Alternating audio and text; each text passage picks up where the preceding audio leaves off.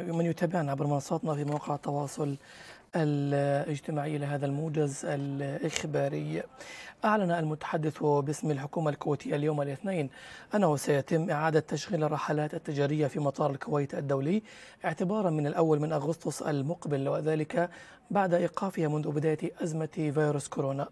وقال المتحدث باسم الحكومة في بيان على موقع تويتر إن مجلس الوزراء وافق على خطة من ثلاث مراحل لتشغيل الرحلات التجارية في مطار الكويت الدولي ذهابا وإيابا.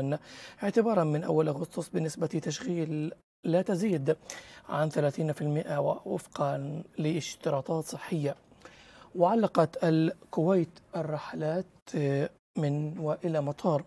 الكويت الدولي في الثالث عشر من مارس الماضي بسبب انتشار فيروس كورونا المستجد.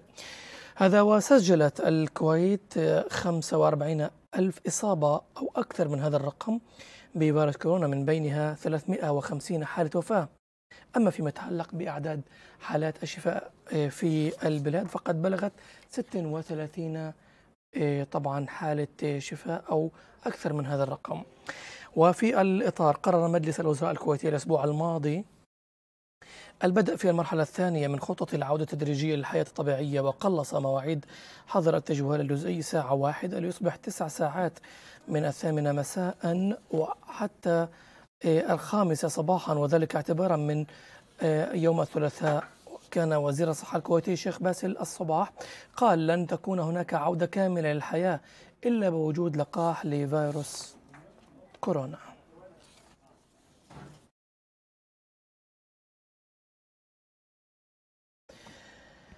مع استمرار الاحتجاجات في مختلف المناطق اللبنانية قطع محتجون أوتوستراد البداو الدولي في شمال البلاد احتجاجا على الأوضاع المعيشية الصعبة وتدهور سعر صرف الليرة اللبنانية أمام الدولار الأمريكي وارتفاع أسعار السلع الأساسية بشكل جنوني.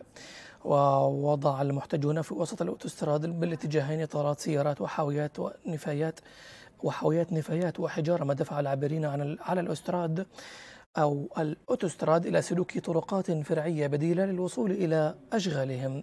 في السياق التزم أصحاب المحل في سوق القمح في طرابلس صباح الاثنين بالإغلاق التام وذلك بعد عدم تمكنهم من بيع البضائع بالأسعار المرتفعة جراء الارتفاع الجنوني لسعر الدولار والأوضاع المعيشية الصعبة. عفوا والأوضاع المعيشية الصعبة كما التزم أصحاب المحال في الأسواق الداخلية بالإغلاق التام. وأعلن محتجون وتجار الاضطراب اعتراضيا على الأوضاع الاقتصادية والمعيشية وانهيار الليرة اللبنانية امتدادا لما شهدته المدينة من احتجاجات غاضبة مساء الأحد بسبب الغلاء المستفحل والبطالة. من المتوقع أن تشهد السودان احتجاجات الثلاثاء المقبل في ظل الدعوات إلى مظاهرة مليونية في مختلف مدن البلاد. وبالتزامن مع ذلك عززت السلطات السودانية من إجراءاتها الأمنية الاثنين تحسبا لمسيرات ومواكب متوقعة الثلاثاء. وذكرت وسائل إعلام أن هناك انتشارا أمنيا في الشوارع المؤدية إلى القيادة العامة للقوات المسلحة والمقرات الحيوية مثل القصر الجمهوري ورئاسة مجلس الوزراء. وقد أغلقت هذه أو أغلقت هذه الطرقات تماما بقوات من الجيش والشرطة ويحذر الكثيرون من احتمال وقوع صدمات في الاحتجاجات المرتقبة. إذ تشارك تجمعات مثل لجان المقاومة وتجمع المهنيين وتجمع شهداء الثورة من جهة مقابل أنصار النظام السابق من جهة أخرى ويطالب المشاركون في التظاهرات المرتقبة بإسقاط الحكومة وإصلاح مسار السلطة الانتقالية واستكمال هياكلها. وتحقيق السلام والإسراع في العدالة وتحسين الأوضاع المعيشية. أكد وزير الدولة السعودية للشؤون الخارجية عادل الجبير أن إيران تعمل على تسليح جماعات إرهابية في سوريا والعالم وتدعم الحوثيين الذين شنوا 1659 هجوما على المدنيين في السعودية.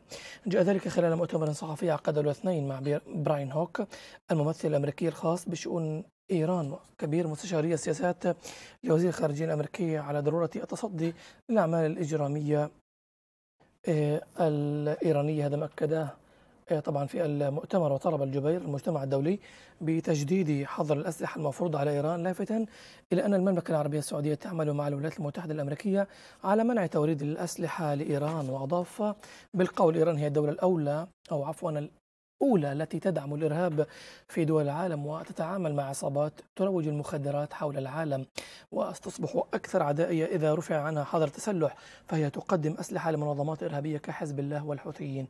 شكرا المتابعة دمتم بخير.